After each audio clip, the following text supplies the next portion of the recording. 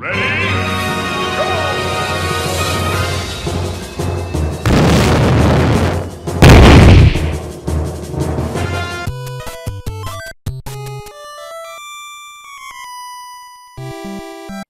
we're checking out one of the oldest classes in the animal kingdom chickens.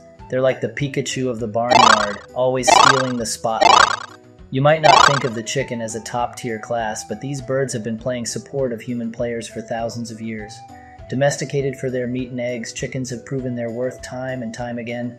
These creatures are the ultimate support class, ready to help you level up your backyard and your life. It's like they're your personal Cluck Norris, always there to save the day if saving the day meant providing breakfast.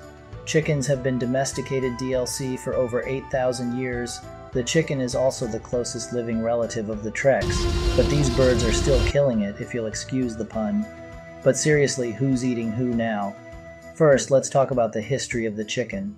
Chickens are domesticated descendants of the red jungle fowl, a tropical bird native to Southeast Asia, and have been used for both food and religious rituals throughout history. Chickens have a distinctive appearance with their red combs and wattles and come in a variety of colors and specks. They have strong legs and sharp claws, which they use to dig for food. The average chicken can weigh anywhere from 3, 7 pounds and can grow up to 2 feet in length. The chicken's real strength lies in its ability egg cellent delivery. These eggs provide a valuable nutrient rich source of sustenance for the rest of your team, giving you the advantage in long gaming sessions. Who needs a supply drop when you have a chicken class on your team? These birds are social players, living in flocks and ruled by a dominant guild leader known as the Rooster. It's like a multiplayer game where everyone works together for a common goal, and if you ever find yourself stuck, just remember there's no I in flock. Chickens have excellent senses of sight, hearing, and smell, which they use to find food and protect themselves from predators.